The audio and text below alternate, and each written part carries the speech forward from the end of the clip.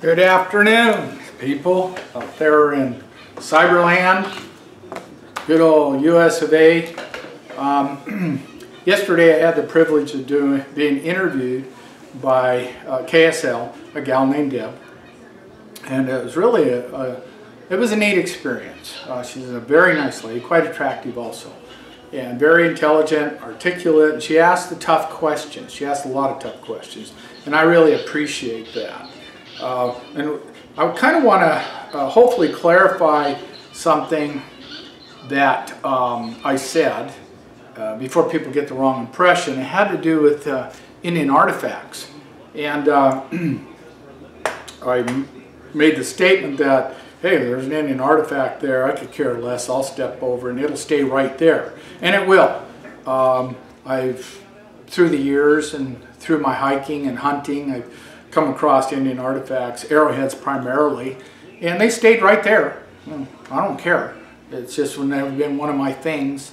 Um, and uh, she talked about, well, how would I feel about, uh, you know, a burial grounds. And again, it would stay right there, and I think everybody should leave them alone.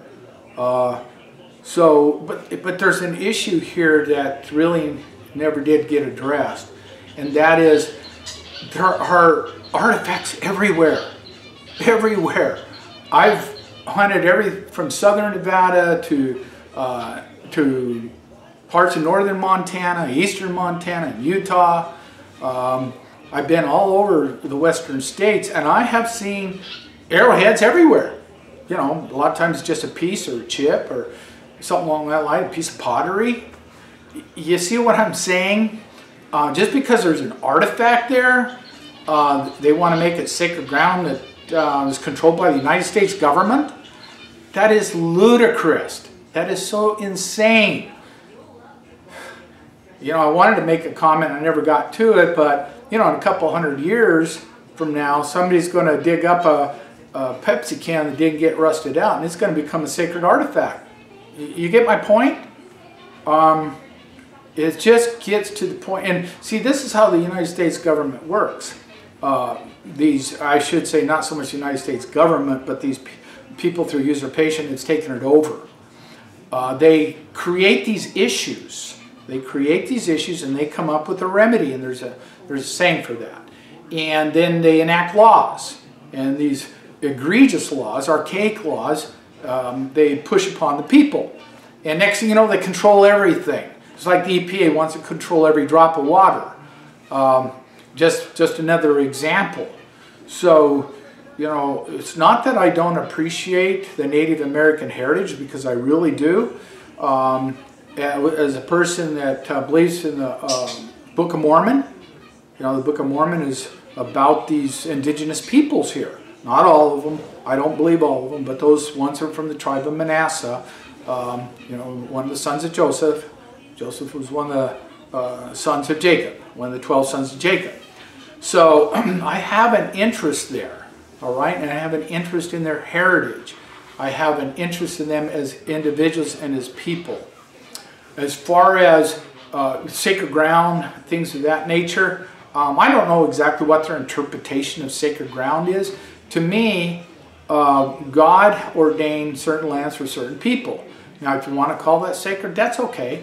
I truly support them, uh, especially up there in the Dakotas right now, in protecting their water uh, from these big giant corporations that don't, really don't care about the little people. They only care about um, their corporate members and the dollar and you know they buy off politicians and through eminent domain they steal everything. That's just one of the ways they do it. And I support those people 100%. Um, I hope they can stop this, uh, this pipeline, this oil pipeline. One is we don't need it. We really don't need it. That's where it gets so ridiculous, okay? We can do this without disturbing the land, without destroying people's lives. Here we go again. Um, for those people that think the federal government controls all the land, um, you know, all the land, even land that was ceded to, to the United States, such as treaty land, um, that is a nation within a nation. The United States government has treaties with those people that that is their land. All right? And then you get some big corporation who wants to make more money for their stockholders and for their CEOs, and they're going to, uh, you know, full steam ahead, and they don't care about those people. It's all about the almighty dollar. Oh, and they love to use this excuse. It's for um, national security, for oil independence, energy independence. What a bunch of horse crap that is. If they really wanted to be energy independent, they would be promoting these free energy projects. And I'm not talking about solar power, and I'm not talking about wind power. There's things that are so much more advanced than that. And they put the kibosh on it because they want the Rockefellers to continue to get their money from these fossil fuels. And that's another lie. They're not fossil fuels. They got, they've discovered this, that these things don't come from dinosaurs and ancient trees and things like that. That is constantly being produced. Now the Bakken oil fields up there in the Dakotas, eastern Montana, and I think part of Wyoming is something like eight times larger than the, the known uh, oil reserves in the world. Dwarfs what the Saudi, Saudis have. And there's one in Colorado that even dwarfs that. All right? So, um, this is just a bunch of garbage. Um, probably a maneuver to steal more lands, and this time it's Native Americans. And for you people out there that think it's okay to steal other people's property, see, that's one of the things that you trolls never address. You avoid it like the plague, okay? You think it's okay for the United States government to take the rancher's property their water rights, their grazing rights. You think it's okay for the United States government to take these tribal lands. You think it's okay. You don't care about these people. You don't care they're getting pushed off their land. You don't care what happens to them after that. Now, do you? You're fine with these big monuments going in and these executive orders. Okay, like the Canyonlands in Oregon. Um, this big monument Malheur County 350 to 400 ranchers are going to be kicked off their land. Those are families. And you don't care, do you? No, you don't care. You are the biggest bunch of damn hypocrites on the earth. You think because you pay your taxes and if somebody calls it public land, it's your land. It ain't your land. Get over it. You think somebody's always stealing something from you, don't you? Because a cow is out there eating and grazing. Oh, he's stealing my, he's stealing my grass. Oh, that criminal. That rancher's a criminal. For all you people that call Cliven Bundy a welfare cowboy and all the rest, they paid their taxes to the county. And the, any money that you paid, it, it got flushed down the toilet a long time ago. It went to Queen of England or whatever. It has nothing to do with this. But you're so stupid you can't figure that out now, can you? Okay, I got off on the subject. Let's go back a little bit. All right. yeah. Um, you know, these, these artifacts and things like that. Um, Jesus made a great statement. Let the dead bury the dead. Okay? Why should the living be persecuted because of somebody died and, you know, they left something behind? That makes no sense. All right? We should be more concerned about the living. There's nothing we can do at this time for the dead. Let's take care of the living. Let's make sure they actually have a life, a real life. Let's get our natural resources back. All right? Because we can't do anything without our natural resources. And part and the other part of the problem is we got to get a real monetary system. We got to get the Federal Reserve out of this whole thing, the IRS out of this whole thing. Okay? It's a, spa, it's a Ponzi scheme. And like all Ponzi schemes, all the wealth eventually ends up in the top. So all these rich SOBs got it all up there. The Rockefellers, Rothschilds, Bilderbergs, Warburg, Schiffs, DuPonts of the world. They got it all. They have a real problem though. It's collapsing. And you know what? You need people. You need, you can have all the wealth in the world, what you call wealth. It's only wealth if you can actually buy something with it. It's only, and you can't buy something if there is no production. You've destroyed the production. You've destroyed the production of the entire world.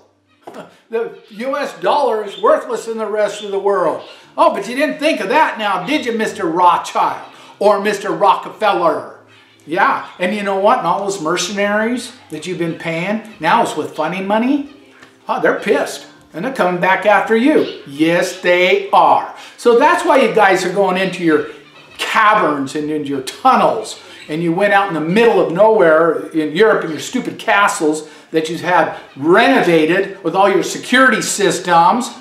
And you got your private little army out there to protect you. How long do you think it's going to be before they decide? Well, you know what? Let's turn a battle against it because you're nothing but a bitch, a bunch of mafiosos. And anytime you have mafia families, what happens? They turn against each other. They get where they can't trust their even their brother. Okay? Because everybody wants to be the top dog. You guys got to be the top dog only to find out that you really are nothing but a dog. How do I get off on these subjects? Sometimes I do not know because one thing always leads into another.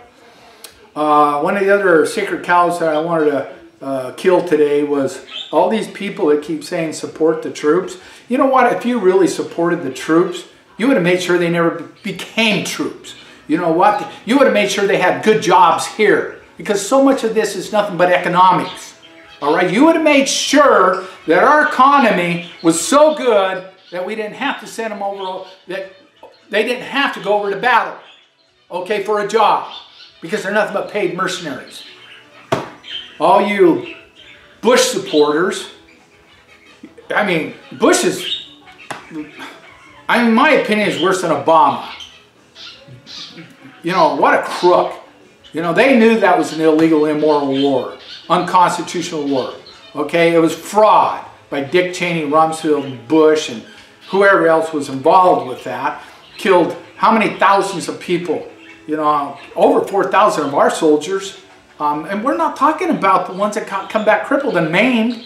Yeah, if you people really support the troops, make sure they don't ever have to go anywhere for economic reasons. yeah, how many of the Iraqis got slaughtered over that whole thing? What a fiasco. And look at we lost it anyhow. It's, you know, you people that can't see from day to day what's taking place, and, and, and we still got people fighting in these foreign wars. We should be out of there. They're immoral. They're unethical. They're unconstitutional. And if you really... And then here's the other thing. These guys come back maimed.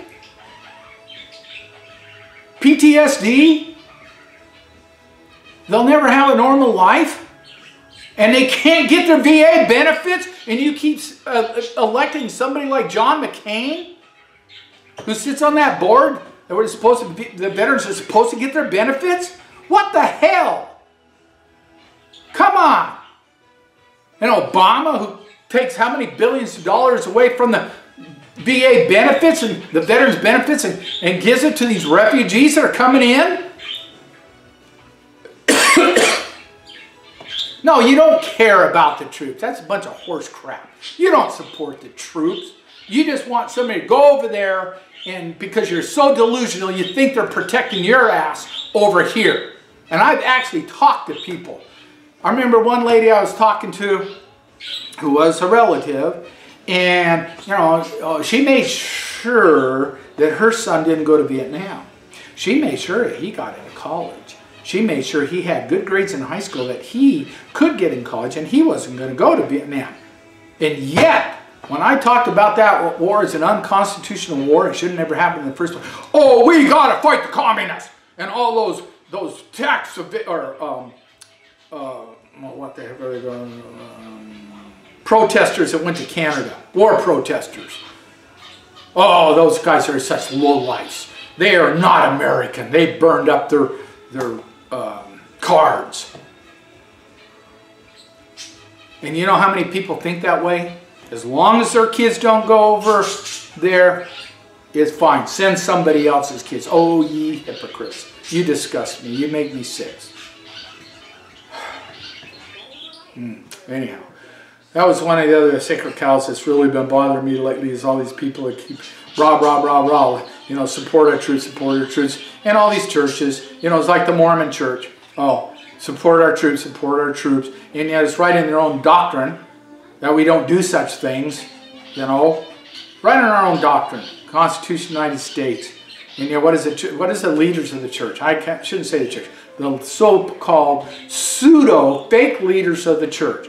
Oh, we support our troops. We say that's all they got to say. We support our troops. All right. and when somebody does stand up and do, does something constitutional for the benefit of all mankind, like Ammon and Ryan Bundy and others, oh, there's no scriptural support for what you have done. And it's never been recanted. They had every chance in the world to recant that. So all you Mormons, you need to wake up. You need to wake up and look at your leaders and see they're a bunch of fakes and phonies. You know, they don't ever say anything about the IRS, which is totally unconstitutional. It is the Luciferian arm, the financial uh, Luciferian uh, support in the world. All that money goes for nefarious things, but the church, the leaders excommunicate its own members for fighting the IRS and fighting the Federal Reserve. How disgusting are you? The scripture says that, you know, we need to be free from the blood of this generation. I'm going to tell you what. When you're paying for the destruction of other people through abortion and through illegal, unconstitutional wars, you are not free from the blood of this. We are in a representative government, and those are your representatives. And you have the right to even change those church leaders too, because you sustain them on a regular basis. All you got to do is say, I do not sustain them anymore. It's over with. So, you are not free from the blood of this generation. And so many of you bury your head and pretend it doesn't exist. That's called the sin of omission, and it's a pretty bad sin too. It can be very, very bad. Okay? So, okay, I'm here, I'm starting to ramble. Uh, I want to go back to our monetary system real quick. Uh, I think that's when we're most vulnerable at this time. I keep talking about a uh, monetary collapse. Well, you know what? Uh, gold and silver is the only thing the Constitution actually provides. But I will say this about the state of California, which has been operating in the red for about as long as I can remember. And they actually at one time resorted to IOUs, uh, sponsored and printed, printed and sponsored by the state of California. And they were paying their government employees with it and worked just fine.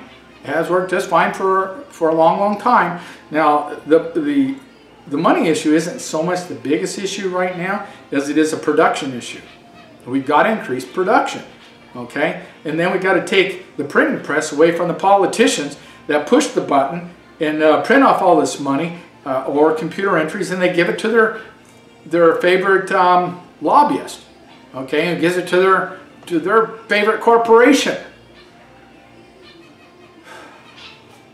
And we got and, and, and the Federal Reserve and the IRS is behind this whole thing. They've corrupted our politicians and all this big money they put in there, and they're all bought and paid for. And now they find themselves between a rock and a hard spot where they're going to expose, so they're going to toe the line for their file leaders. You know, that brings up another issue. All your LEOs, all these, you know, uh, alphabet soup agencies, you know, which is nothing but a standing army, you know, a camouflage standing army, rather than all having a red coats, you know, they all got their own little IDs and they all are so full of themselves. And, you know, it doesn't matter which of the 3,000 laws that are passed every year, they're going to enforce them, right or wrong. They're going to enforce them because they're compartmentalized on a need-to-know basis. And there is no excuse for that. And interesting enough, they all come up with the same excuse. Every single one of them. Watch Gavin Seim when he confronts him. I'm just doing my job. So, okay, Mr. LEO, your job is to oppress your fellow man. That's your job? Mr. BLM agent, Mr. Forest Service agent, IRS agent, FBI agent? Your job is to oppress your fellow man. That's what you're telling me. All the way down to the foot soldiers, all the way to the top. You know, and then if you try to get to the top, that's so corrupt, you get nowhere. You get to the Ninth Circuit Court of Appeals and they overrule any good ruling you have in the first place. Just ask the rancher, Mr. Hage, over in Nye County, what they did to him. You know, they won that case. Federal Judge R.C. Jones. said that the FBI, or excuse me, the BLM and the Forestry Department were committing fraud against those people. So they won the case. Goes to Ninth Circuit Court of Appeal and gets overturned. So, oh, where are you going to get justice? You're not going to get it from the foot soldiers, the LEOs on the ground. You're not going to get it from their captains their sergeants. You're not going to get it from the local judges. Okay? Because all of them are just doing their job. Go up from there. Try to appeal to a politician. Oh, your cause is just, but there's nothing I can do for you. All the way up. There is no justice because they have all violated their oath of office. They've all committed blasphemy against God. So as, as the words of Ammon, what are the people supposed to do? What are we supposed to do? We get justice nowhere. But then they, hey, we don't, they, we don't want revolution. We don't want revolt. Well, we don't either. But this is not a government of the people, by the people, for the people anymore. Hasn't been for a long time. And the Declaration of Independence says we have a sacred responsibility to overthrow this existing corrupt government. But the people will suffer as long as these things are sufferable. And man, we've been suffering for a long time, but it can only go so long. And I think God's about ready to put an end to the whole thing. I really do. I think He's about ready to put an end to the whole thing. And I'm looking forward to it. All the signs are there. Everything is there. Okay, maybe I shouldn't be in such a insulting mood, but uh, I can't help it. I see hypocrisy everywhere on every single level. You know, there's a scripture in the 28th chapter of Isaiah that says, all tables are full of vomit. And that pertains to our time. And what you got to understand what a table was, was either a theocracy or a, um, or a, a, government of some sort. It could be um, secular or a theocracy. All right? And uh, all tables are full of vomit. Every single one of these things, every level of government, every level of, uh, of the organized religions, all tables are full of vomit. And there's actually a good side to this. People got to learn how to go by the Spirit of God. And it even talks about that later on that section. I shall speak to this people with another tongue, with stammering lips. And he's talking about the Holy Spirit. You know, line upon line, precept upon precept. Here a little, there a little. Until the overflowing waters shall sweep away the refuge of lies. And that's where we're headed. And uh, because consciousness is going to be served when these, these lies are done, then truth will be established. And I can't wait for it because it's going to be brutal to the wicked. It's going to be brutal to the evil. And I think that's about time to end this thing. Uh, God bless everybody. I want to put um, a word in for uh, my Native American brothers up in the Dakotas. Keep up the good fight. Hey, keep up the good fight. You got a lot more support than you think. And all those LEOs on the ground, they're sitting there acting all big and tough. You need to grow a brain. You need to learn to think for yourself. Get out of your compartmentalization and your need to know basis and your Stockholm Syndrome. All right? Those are your brothers over there. Those are your Native American brothers. Their cause is just. You know, take off your uniforms and go stand with them. Thank you very much.